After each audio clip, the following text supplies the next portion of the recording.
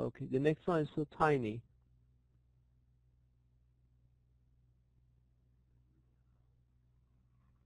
Okay, this is, uh, I'm going to rewrite that. It just came out a little, little small. So you should have this uh, in your handout I sent you. But let me write it down bigger. You have 2x minus 6 minus x plus 3x plus 6 is equal to 6x plus 2. Here we distribute. This is like imaginary 1 here. Let's just put 1. Just make there's a 1 here that you distribute here. So I get 2x minus 6 plus x plus 3x plus 6 is equal to 6x plus 2. If you combine like term, we have 2x, 1x, 3x. That adds up to 6x. And then here we have minus 6 plus 6, that's add up to 0. And then in the other side, we have this. Now this is interesting. This is the interesting question.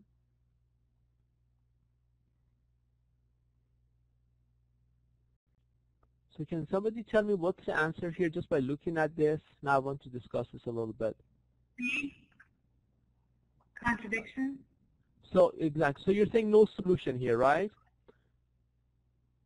Yeah, it should make sense, everyone, right? Because why is no solution?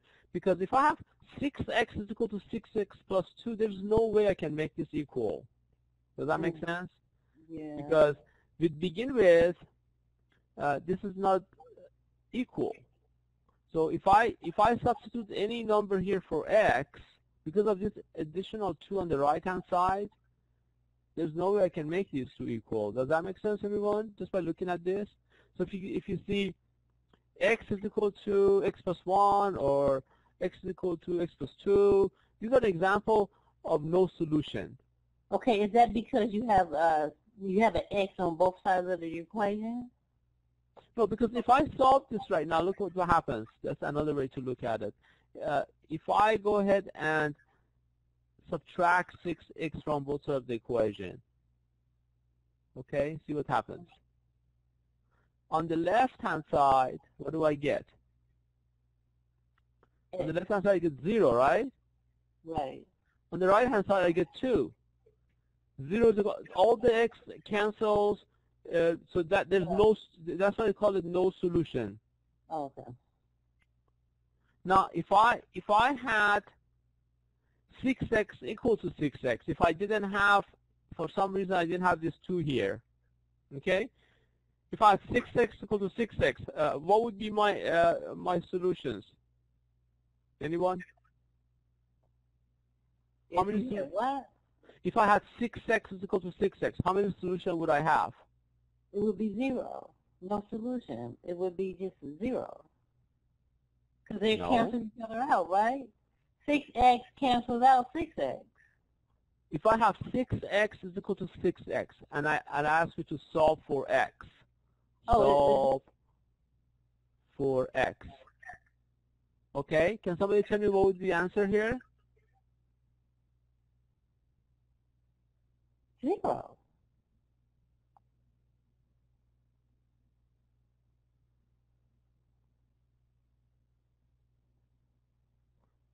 Again, somebody wrote here, uh, x would be uh, any integer. That is correct.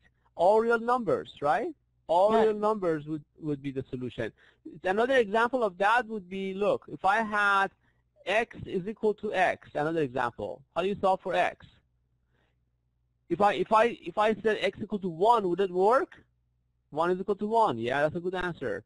What if I had 2? 2 would work? Yes. 2 is equal to 2. That's uh, another. So all real solution, all real solution, all real, all real, uh, all real numbers, all real numbers would be the solutions to this to this equation. Does that make sense? So as this one, 6x equal to 6x would be another example of all real numbers would be the solution. However, if I have if I have 6x is equal to 6x plus 2, then that would be no solution.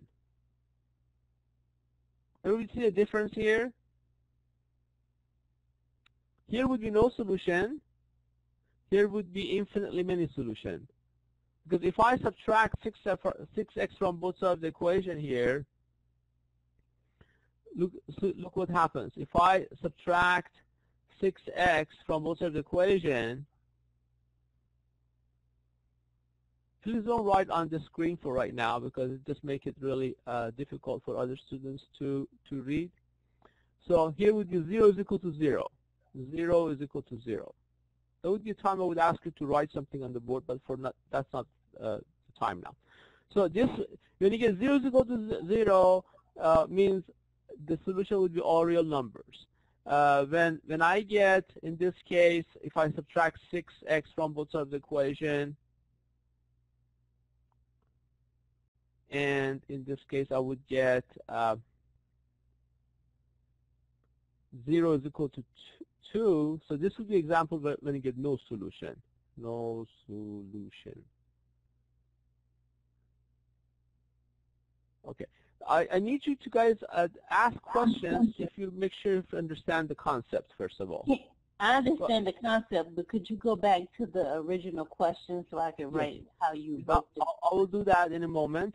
But uh, are you guys okay between these two? Any question between the difference between these two, first of all? Are you okay with that? This would be infinitely many solution. This would be no solution. We're good with that, right? right? I do have an. I'm good with it, but if we go to back to the to the question, what answer do we have to choose? From okay, well, okay. yeah, let's yeah, go back to let's go back to a question. Frank says let's go back to a question. We get six x is equal to six x plus two. So in this case, would be no solution. When there is no solution, they they use this little symbol empty set or there's no solution, and there's a name for this.